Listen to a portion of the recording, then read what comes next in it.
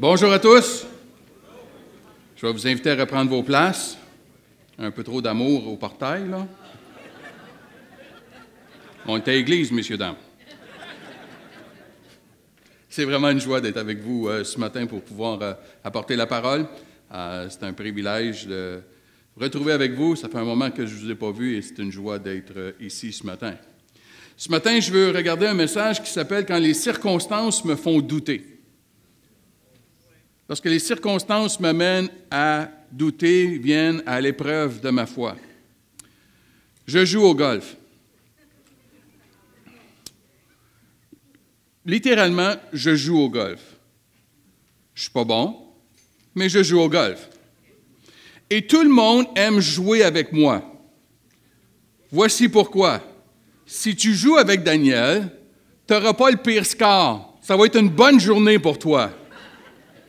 J'ai l'impression que c'est comme un ministère que je fais avec les gars quand je vais jouer au golf. Parce qu'ils se disent, ça ne peut pas être aussi pire que lui. Il y a quelques temps de cela, j'étais avec Pasteur Marc Lecomte et Stéphane Kiri. Donc, c'est évident que ça peut me faire battre. On était trois. On arrive pour jouer. On nous demande, est-ce que ça vous dérange qu'il y ait un quatrième joueur conjoint à vous? La réponse qu'on a donnée, c'est bien sûr que non. Ça ne nous dérange pas. La vraie réponse, c'est que ça nous dérange. Mais on n'osait pas le dire parce qu'on est chrétien, on n'ose pas le dire. Parce que ça nous dérange quand on met un étranger avec nous, parce que rendu au deuxième, troisième trou, la question va venir. Puis vous autres, vous faites quoi dans la vie?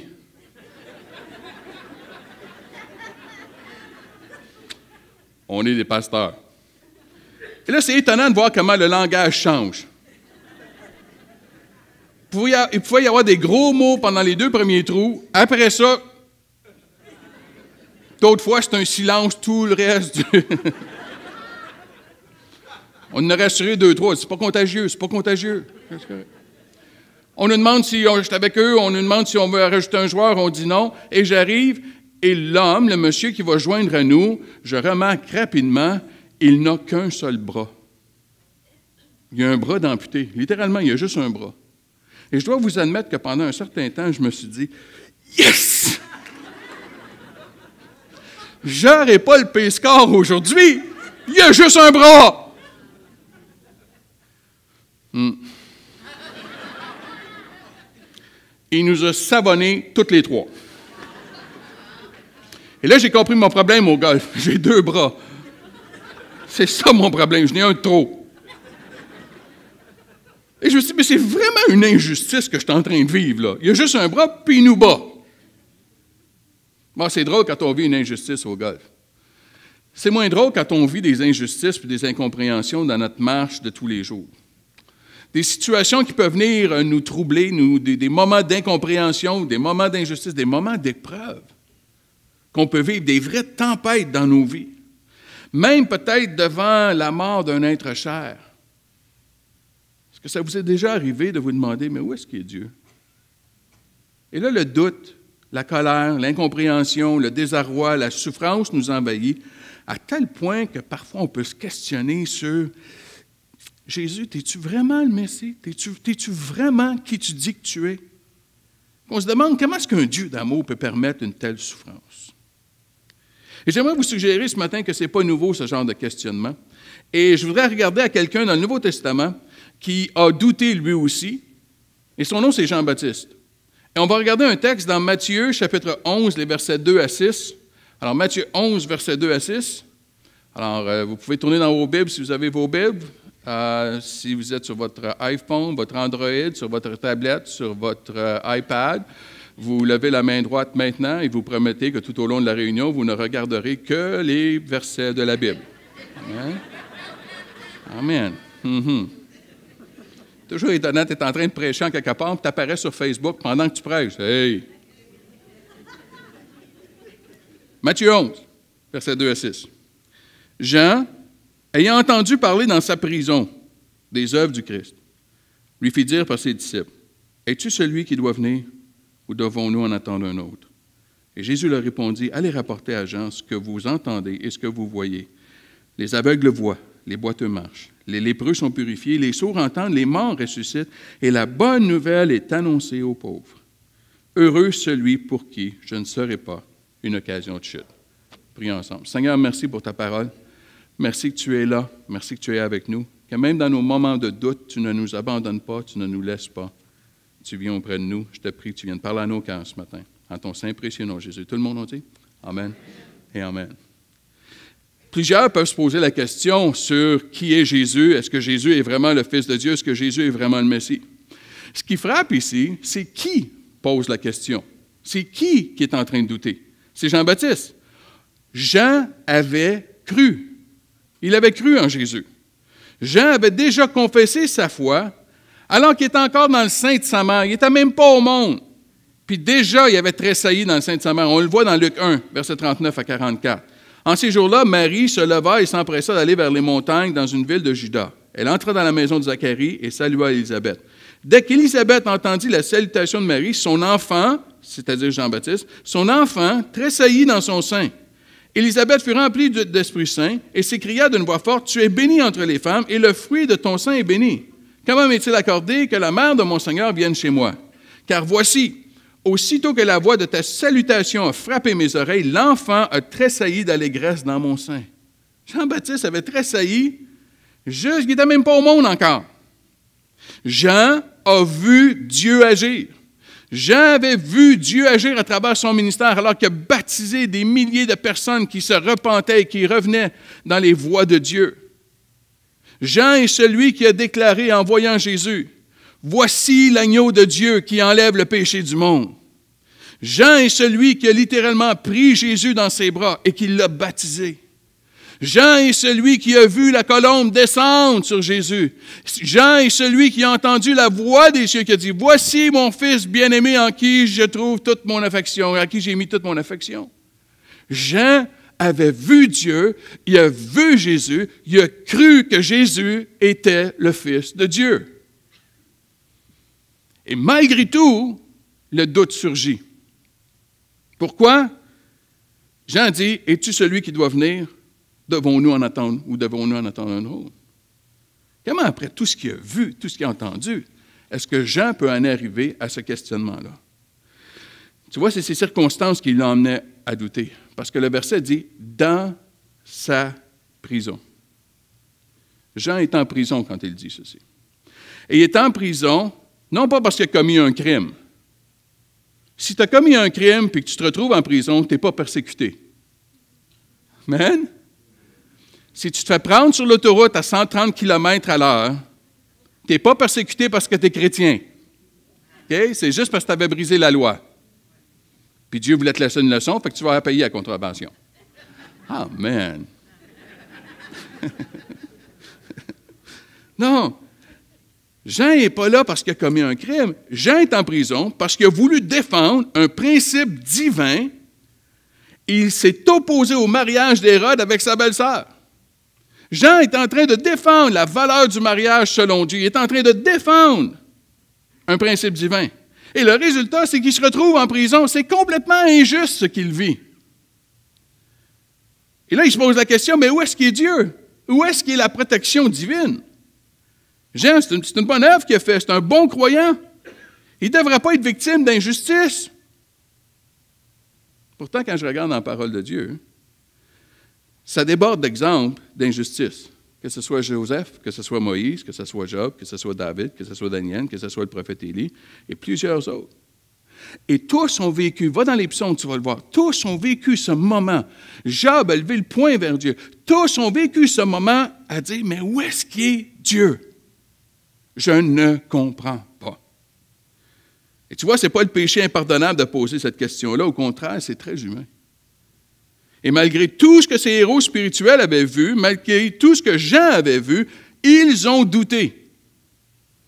Et l'angoisse dans l'épreuve peut être si profonde que malgré tout ce que j'ai pu voir, tout ce que j'ai pu entendre, le doute peut m'envahir à tel point où je peux me poser la question, Jésus, es-tu bien le Messie ou est-ce que je devrais en attendre un autre? Et la réponse de Jésus est la suivante. Versets 4 et 5. Jésus leur répondit, Allez rapporter à Jean ce que je vous entendez et ce que vous voyez. Les aveugles voient, les boiteux marchent, les lépreux sont purifiés, les sourds entendent, les morts ressuscitent et la bonne nouvelle est annoncée aux pauvres. tu vois tous ces miracles-là. Si tu regardes dans l'Ancien Testament, toutes les prophéties messianiques de l'Ancien Testament qui annonçaient la venue du Messie disaient Voici les signes, comment tu vas le reconnaître. Les sourds vont se mettre en entendre, les morts vont ressusciter, les aveugles vont retrouver la vue, les lépreux vont être guéris. Et à ces signes-là, vous allez reconnaître que c'est le Messie. Et c'est exactement la liste que Jésus donne ici. Mais il y a un problème avec cette réponse si on reste là. Et le problème est le suivant. Jean savait déjà cette réponse-là. Jean savait que Jésus guérissait des gens. Jean savait qu'il y avait des miracles qui se faisaient par le ministère de Jésus. Jean savait ces choses-là. Ce n'était pas nouveau de lui rappeler. Voici la clé de la réponse. La clé de la réponse est au verset 6, quand il dit ceci, Jésus qui parle. Heureux celui pour qui je ne serai pas une occasion de chute. Je comprends que ma chair peut être une occasion de chute. Je comprends que mon tempérament, mon caractère peut être une occasion de chute. Je comprends que la tentation peut être une occasion de chute. Je comprends que l'ennemi peut être une occasion de chute. Mais Jésus, Jésus, tu peux être une occasion de chute dans ma foi. Et ce n'est pas la première fois que Jésus le dit. Lorsqu'on veut essayer de comprendre comment est-ce que Jésus peut être une occasion de chute, on regarde dans Matthieu 13, les versets 54 à 57, on y lit ceci. Il se rendit dans sa patrie et se mit à enseigner dans leur synagogue, de telle sorte qu'ils étaient étonnés et disaient, mais d'où lui viennent cette sagesse et ces miracles? N'est-ce pas le fils du charpentier? Sa mère ne s'appelle-t-elle pas Marie? Et ses frères, Jacques, Joseph, Simon et Jude? Et ses sœurs ne sont-elles pas toutes parmi nous? D'où lui vient donc tout cela? Et il était pour eux une occasion de chute. Mais Jésus leur dit, un prophète n'est méprisé que dans sa patrie et dans sa maison. Comment est-ce qu'il peut faire? On le connaît, on l'a vu grandir dans le village. Sa mère est ici, ses frères, ses soeurs, on connaît sa famille. D'où lui vient? Et il était une occasion de chute pour eux. Matthieu 26, verset 31. Alors Jésus dit, je serai pour vous, il parle aux disciples, je serai pour vous tous cette nuit une occasion de chute, car il est écrit, je frapperai le berger et les brebis du troupeau seront dispersées. Jésus est en train de dire à ses disciples, à la veille de la crucifixion, je être pour vous une occasion de chute. Tu vois, Jésus peut être une occasion de chute quand il n'agit pas comme tu penses qu'il devrait agir. Qu'il ne fait pas ce que je pense qu'il devrait faire. Et là, Jésus peut devenir une occasion de chute parce que ce n'est pas ce que je pense qu'il devrait faire. Ce n'est pas ce que je lui ai demandé de faire. Jésus semble dire, j'espère que vous êtes ouverts à la réalité que je suis Dieu et que vous ne l'êtes pas. J'espère que vous êtes ouverts à cette réalité-là. Tu sais, dans mon ministère, je fais beaucoup de counseling, c'est ça mon rôle. Et parfois, j'écoute des gens qui me parlent dans mon bureau, puis des fois, je suis obligé de leur rappeler euh, Mais quand je t'écoute, là, qui est Dieu exactement dans ta vie? J'ai l'impression que c'est toi, toi qui es Dieu et que Dieu est ton serviteur. Que Dieu doit faire ce que tu demandes. Puis s'il ne le fait pas, tu vas bouder. Mais j'aimerais juste te dire, Dieu est très sécure dans qui il est. Et ton boudage le fera pas paniquer. Jésus est en train de dire à Jean, es-tu ouvert au fait que moi je suis Dieu? Que mes pensées sont bien plus élevées que les tiennes, que ma perception et ma vision est éternelle alors que la tienne est temporelle. Es-tu ouvert? Lorsque j'étais petit, on avait un chalet. Et euh, mon plaisir, je passais mon été, on avait une petite chaloupe avec un petit moteur et je passais mon été dans la chaloupe à me promener sur la rivière. C'était mon plaisir, je, me promenais sur la rivière, j'aimais ça, c'était mon activité préférée. Et je me souviens d'une fois où est-ce que le vent s'est levé et il y avait des vagues, mais des vagues. Oh! Et je me souviens, c'était génial parce que les vagues étaient au moins 4, 5 pieds et je me promène dans les vagues Et comble du bonheur, il n'y a aucun autre bateau sur l'eau. Je suis le seul. Oh yeah! J'ai toute la rivière à moi. Et je me promène et je descends les vagues et je remonte les vagues et je redescends les vagues. Et tout à coup, du coin de l'œil, je vois mon père sur le quai. Et là, je vois mon père qui fait. Maintenant, j'avais la crainte de mon père. Ah, j'ai obéi. Mais tout le long, j'ai bougonné. Tout le long, c'est ça, il était encore en train de gâcher mon fun. Il voyait bien que j'avais du plaisir. Non, il ne peut pas me laisser avoir du plaisir. J'ai peut-être 10 ans, 11 ans. Puis je bougonne tout le long, mais je m'en viens quand même parce que mon père me dit. Puis je sais que si c'est pas ça, ça va être ça qui va suivre.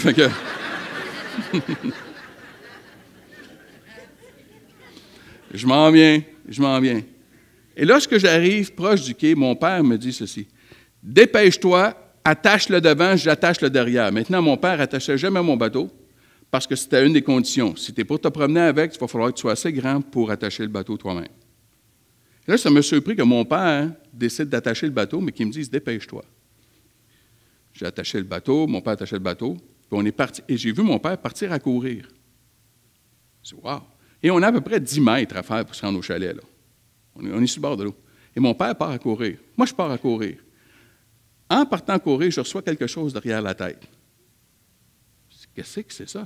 ça? ça? a sonné comme faux. Et j'ai regardé à terre, et c'est un grêlon qui avait la grosseur d'une balle de golf. Le 30 mètres, on a réussi de peine à se rendre. On est rentré dans le chalet. On s'est mis à trois. Ma mère est venue nous aider pour refermer la porte parce qu'on n'était pas capable. À ce jour, je me demande qu'est-ce qui serait arrivé si j'avais été encore sur l'eau quand cet orage, cet ouragan de grêle est passé, c'était les, vitres brisées, on entendait les vitres qui éclataient partout autour de nous, les autos avaient toutes sortes de, de, euh, toutes sortes d'effets de, la grêle qui tombait dessus. je me disais, mais qu'est-ce que j'aurais eu de l'air au milieu de la rivière tout seul? Tu vois, moi, pendant que j'étais sur la rivière, j'avais du plaisir. Je voyais que les vagues. Mon père sur le quai voyait au loin les nuages noirs qui s'en venaient. Et il me fait signe, viens-t'en. Commence à comprendre que quand Dieu te regarde, alors que nous, on regarde la vie ici-bas, que Dieu est sur le quai de, de nos vies, puis regarde au loin, et que sa vision est au-delà de notre vision. Sa vision est éternelle, est tellement plus élevée, tellement plus élevée.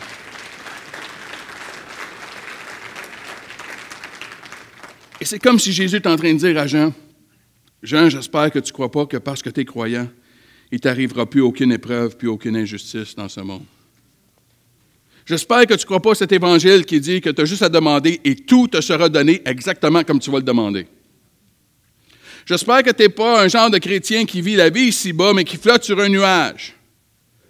Qu'il n'y a plus rien qui peut m'affecter, il n'y a plus rien qui peut me toucher que je vais toujours être prospère, que je vais toujours aller bien, que je ne serai jamais malade, que j'allais presque à croire qu'un chrétien mourra jamais. Que tout repose sur ma foi. Si j'ai la foi, je vais tout avoir. Pourtant, quand je regarde la liste des héros de la foi d'Hébreu 11, ils sont tous morts. Quand je regarde les apôtres, ils sont tous décédés. Quand je regarde toutes les personnes qui ont été guéries par Jésus miraculeusement, aucune de ces personnes est avec nous aujourd'hui.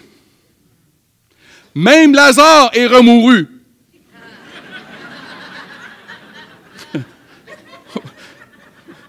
Pauvre lui. D'abord une fois, ah ouais, une autre fois. Il est mort deux fois. Tous les grands de l'histoire de l'Église sont morts. Tu vois, dans le Nouveau Testament, il y avait trois critères pour prouver que tu étais chrétien. Un, tu as confessé de ta bouche que Jésus-Christ est ton Seigneur et ton Sauveur. Deux, tu t'es fait baptiser dans l'eau. Trois, tu avais des épreuves. C'était les trois signes que tu étais chrétien. C'est drôle parce qu'aujourd'hui, on a quasiment fait l'envers. Oh, t'as-tu vu, il y a des épreuves dans sa vie. Hum, hum, hum, il doit y avoir du péché qui se cache là, certain. S'il y avait la foi que j'ai,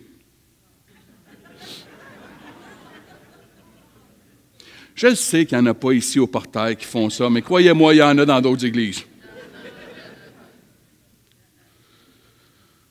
Et c'est comme si Jésus veut être tellement certain qu'on saisisse ce qu'il est en train de dire ici, qu'il continue en décrivant la foi de Jean-Baptiste comme ceci des versets 9 à 11 qui suivent dans Matthieu 11. Qu'êtes-vous donc allé faire? Voir un prophète? Oui, vous dis-je, et plus qu'un prophète. Car c'est celui dont il est écrit, Voici, j'envoie mon messager devant ta face pour préparer ton chemin devant toi. En vérité, je vous le dis, parmi ceux qui sont nés de femmes, il ne s'en est pas levé de plus grand que Jean-Baptiste. Ce que Jésus est en train de nous dire, c'est qu'il n'y a jamais eu un homme qui avait la foi, l'obéissance à Dieu comme Jean-Baptiste. C'est ce qu'il est en train de dire. Et malgré tout, malgré cela, il est au milieu d'une épreuve, il est au milieu d'une prison. Et c'est comme si Jésus est en train de dire à Jean ceci. Jean, j'espère que ma volonté ne sera pas une occasion de chute pour toi. Parce que tu ne sortiras pas de cette prison-là. Tu ne sortiras pas vivant. Jean, tu vas mourir injustement dans cette prison. C'est là ma volonté. Et tu la comprendras peut-être pas à court terme, mais il va falloir que tu me fasses confiance. Tu vois, c'est l'ultime soumission de mon être entier. Je te suivrai malgré tout. C'est l'ultime soumission. Est-ce que c'est difficile? Très. Très difficile. Je me souviens au décès de mon beau-père. C'est un homme que j'aimais beaucoup. Et il est décédé d'un cancer qui l'a foudroyé à un jeune âge. Il y avait quelque chose de tellement injuste que j'ai eu de la difficulté à passer à travers. Ça a été difficile pour moi. Spirituellement, dans ma foi, c'était une période difficile. C'était sombre. Je disais, pourquoi, pourquoi, pourquoi, pourquoi? Et je suis arrivé dans un temps avec Dieu, et je me souviens que je levais le point vers Dieu, parce que je ne comprenais pas. Et c'est comme si j'ai ressenti Dieu me dire, je sais que tu ne comprends pas, mais il va falloir que tu fasses confiance à ma volonté. Et là, le choix était de courber à sa volonté ou de continuer de me rebeller contre lui. Difficile. Jésus l'a vécu. Dans le jardin Gethsemane, ça nous dit que Jésus a vécu cette tempête-là dans sa vie, dans son cœur. Jésus a dit, non pas ma volonté, mais que ta volonté soit faite. Maintenant, nous, on lit en un verset.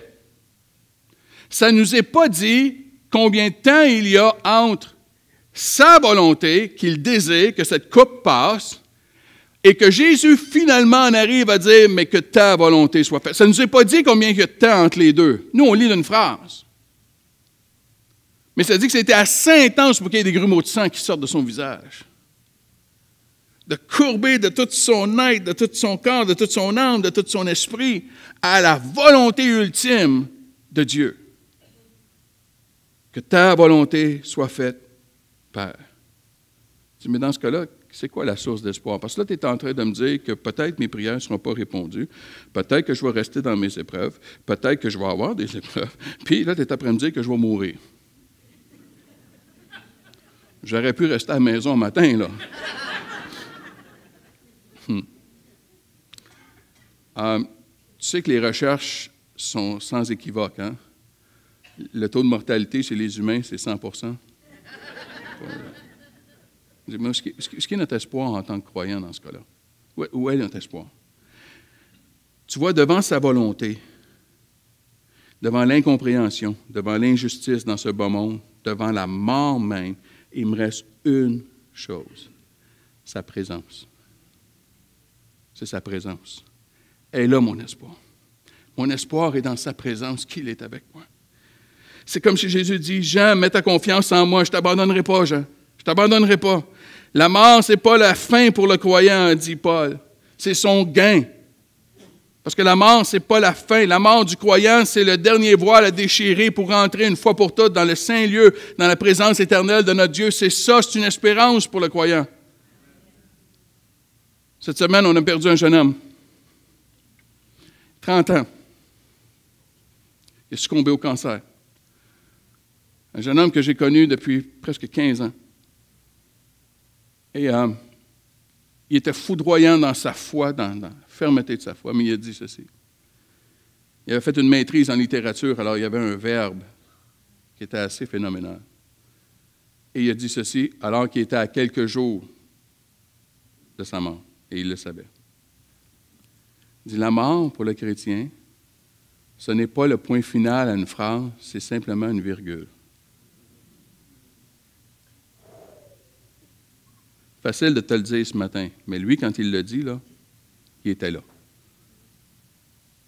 Et il a fait de la virgule. Tu vois, pour le chrétien, la mort, ce n'est pas la fin. Et c'est comme si Jésus est en train de dire, Jean, fais-moi confiance, je vais aller au Père, puis je vais te préparer une place. Et c'est ce qu'il nous dit à chacun de nous ce matin. Il ne nous garantit pas le miracle. Parce que le miracle, par définition, c'est ce qui sort de l'ordinaire, c'est ce qui sort du normal. Si le miracle devient normal, c'est plus un miracle par définition. Ce qu'il nous garantit, c'est que peu importe la situation que je traverse, peu importe l'épreuve où je suis, peu importe la tempête, il me garantit sa présence qui va être avec moi. Il va être avec moi.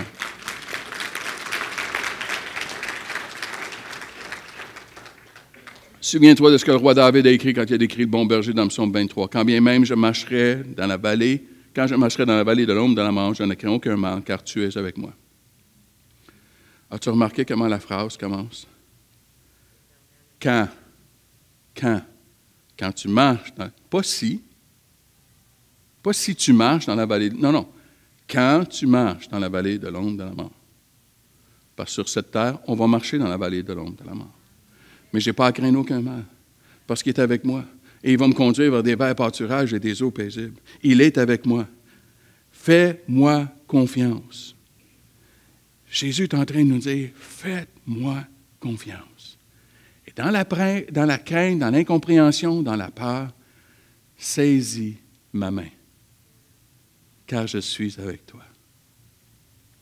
Quand mes enfants étaient à l'école plus petits, euh, une, des choses que à cause de mon horaire de pasteur, ça me permettait de, faire cela.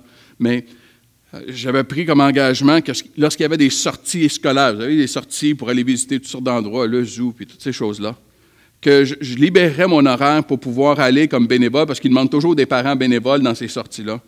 Et euh, j'étais pour libérer mon horaire avec mes deux enfants, je l'ai fait pendant toute leur primaire, pour aller accompagner, puis d'être un bénévole, simplement pour vivre ces moments-là avec mes enfants je dois vous admettre que j'étais pas mal le seul père qui était bénévole. Et, je le comprends, parce que c'est des, activités dans la journée, puis la majorité des papas travaillaient, puis je, le comprends, ils ne pouvaient pas tous se libérer. Mais je peux vous dire aussi que lorsque j'arrivais, j'avais un sourire énorme des professeurs qui étaient souvent des dames, qui voyaient un papa arriver, qui voyaient un homme arriver pour une sortie scolaire parce que vous savez ce qu'on fait quand un homme bénévole pour une sortie scolaire? Hein? On donne tous les petits garçons.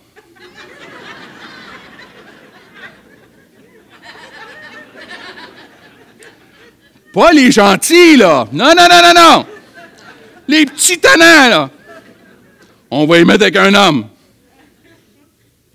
Et je me souviens, on avait fait une sortie, puis on avait été visiter une mine dans une montagne en Estrie, puis tu rentrais dans, le tunnel, puis tu allais dans la mine. Tu allais visiter la mine. Et effectivement, ils m'ont donné le petit de la classe. Le. Et parfois, je dois vous confesser qu'il y avait certains tunnels que tu disais, je ne sais pas, je pense que ça ne sort pas nulle part, puis des fois, j'avais le goût de dire, venons voir si. Euh,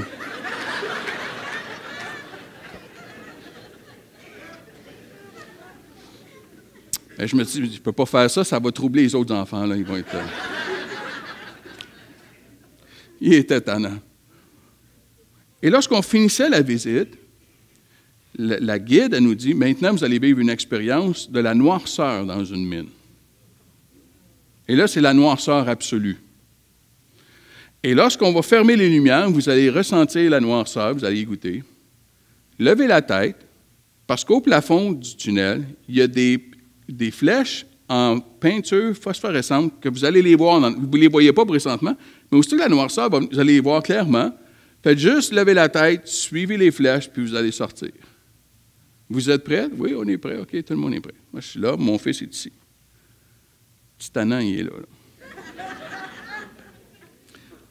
aussitôt qu'on a fermé la lumière, aussitôt que c'est venu noir, noir, noir, noir, tu ne vois pas ta main devant ton visage.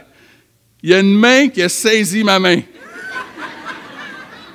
Oh, le petit dur, le petit tough, le petit. Puis là, j'ai senti une petite main qui m'a pris. Ah, tiens, c'est pas mon gars, mon gars, il est là. Sais qu'il est de l'autre côté. Et là, on est parti, j'ai levé la tête, je voyais les flèches et j'ai commencé à sortir. Et tout le long, la petite main me tenait. Jusqu'à temps qu'on ait assez de lumière, la petite main me lâché, j'ai jamais su à ce jour c'était qui.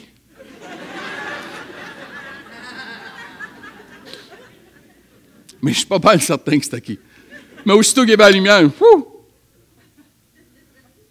Dans la noirceur, il a saisi ma main. Quand on est dans la noirceur de l'épreuve, dans la noirceur de l'incompréhension, dans la noirceur qui nous envahit, ou qu'on ne voit plus rien, saisis sa main. Saisis sa main.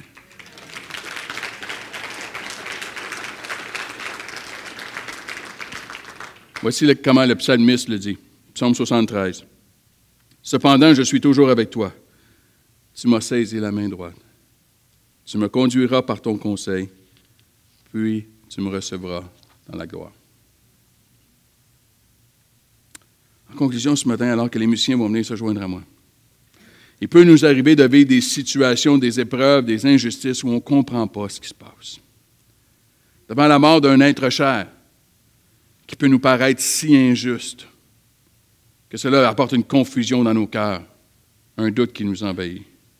Et dans ces situations-là, dans nos prisons à nous, le doute peut envahir notre foi et le questionnement peut envahir nos pensées et le découragement peut nous faire perdre espoir. Qu'est-ce qu'on devrait faire à ce moment-là? Première chose, la première chose que j'ai besoin de me souvenir, c'est que la souffrance et même la mort n'est pas le plan original de Dieu, c'est la conséquence de la chute de l'homme. Dieu n'a jamais voulu cela. Quand je regarde dans le Jardin d'Éden, Dieu ne voulait pas qu'on souffre, ne voulait pas qu'on meure, ne voulait pas qu'on ait des épreuves. Mais c'est la conséquence de la... Donc, je peux trouver en Dieu un refuge. La deuxième chose que j'ai besoin de faire, j'ai besoin de prier pour le miracle. Parce que Jésus, dans sa réponse, il a dit, voici tous les miracles qui prennent place. Et Jésus le fait encore. Jésus fait encore des miracles. Jésus guérit encore des gens. Il délivre encore des gens. Jésus fait encore des miracles. Il est encore le Tout-Puissant qui agit miraculeusement. Et j'ai besoin d'intercéder, de croire et de prier, puis de frapper à la porte des cieux pour le miracle. Mais j'ai besoin de me souvenir. Le miracle, c'est hors du normal, c'est hors de l'ordinaire, c'est hors de ce qui est supposé normalement arriver. Et j'ai donc besoin d'humblement courber la tête et de me soumettre à sa volonté, même si je ne la comprends pas, puis de lui faire confiance. Il y a des choses qui, à ce jour, je ne comprends pas. Je ne comprends pas Dieu. Et pour moi, c'est rassurant. Parce que la journée que je comprends Dieu, je suis Dieu. Mais il est plus grand que moi. Et je ne comprends pas. Et je dois humblement courber devant sa présence. Mais il y a une garantie ce matin. Je peux mettre ma confiance dans le fait qu'il est là, que jamais il va m'abandonner. Que dans la noirceur, ne doute pas, mais plutôt saisis sa main. Saisis sa main, qui est là pour te porter, qui est là pour te soutenir. Et il va te conduire tout au long de l'épreuve jusqu'à ta demeure éternelle. Tu vois, pour un chrétien, c'est jamais une caverne, c'est toujours un tunnel. Même la tombe n'a pas été capable de retenir Jésus. Mais pour le chrétien, la vie, c'est toujours un tunnel, c'est jamais une caverne. Tu dis, oui, mais pasteur, je connais des gens qui sont décédés, là. Je connais des gens qui, dans l'épreuve, ça n'a pas. Ah, mais la mort, ce n'est pas la fin. T'imagines la lumière au bout de ce tunnel-là, dans la gloire et la présence de Dieu, dans la gloire et la présence de Christ? On n'est jamais dans un dans une caverne, toujours dans une tunnel. Et dans la fournaise de l'épreuve, il va faire une œuvre dans nos vies comme l'or au creuset à sa gloire. Il va se glorifier. Le royaume que Christ nous a annoncé n'est pas sur ce bas monde. Il est là-haut. C'est là notre espérance. Et la bonne nouvelle, il est parti nous préparer une place. Et tu sais ce qu'il dit? Et si ce n'était pas vrai, je vous l'aurais dit. J'aime Jésus dans son honnêteté et sa franchise. Je m'en vais vous préparer, m'en vais au Père, je m'en vais vous préparer une place. Puis si ce n'était pas vrai, je vous l'aurais dit. ah bon? J'ai jamais pensé que tu étais pour nous mentir, là, mais.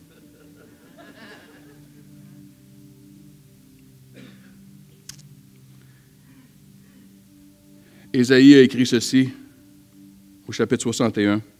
Je vais vous lire la version du français courant que j'aime beaucoup. Il porte le deuil de Sion.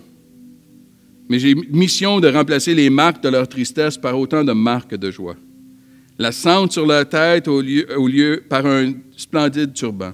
Leur mine douloureuse par une huile parfumée, leur air pitoyable par un habit de fête. Alors on les comparera des arbres qui font honneur à Dieu, à un jardin qui révèle la gloire du Seigneur. Il va transformer nos larmes, il va transformer nos deuils, il va transformer nos souffrances. Ce matin, je ne te garantis pas le miracle. Mais je te garantis sa présence, par exemple. Je te garantis sa présence. Est-ce qu'on peut courber nos têtes ensemble?